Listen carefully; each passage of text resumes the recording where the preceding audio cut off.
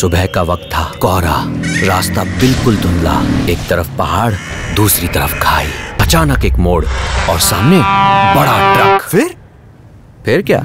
आराम से टर्न मारा घर पहुँचा और माँ के हाथ का पराठा खाया। For unexpected turns TVS Eurogrip tyres